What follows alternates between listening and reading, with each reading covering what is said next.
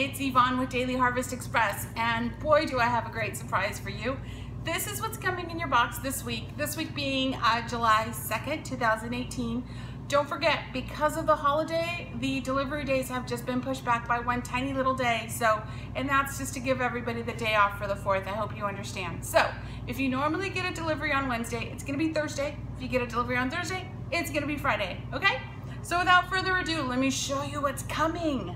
So we've got um, a beautiful celery, peekaboo, and they got two because it was a little small. So their celery. I keep saying it, it's the last of the strawberries, but so get them while they last. Here they come to you this week.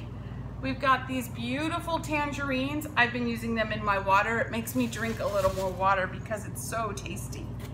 And I've got some bok choy beautiful bok choy that's coming from Be Wise as well as these, as these carrots.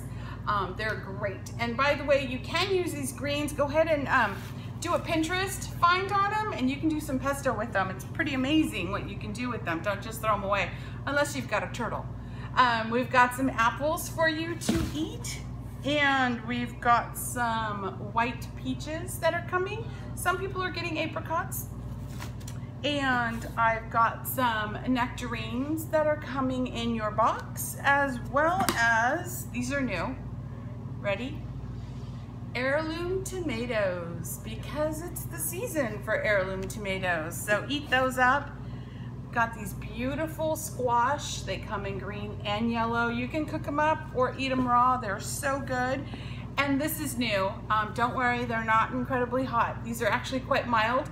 They're called banana peppers. We've included a recipe so that you know exactly what to do with them. Um, so don't forget, always take a look at your recipes. We also have a recipe for bok choy and tomato.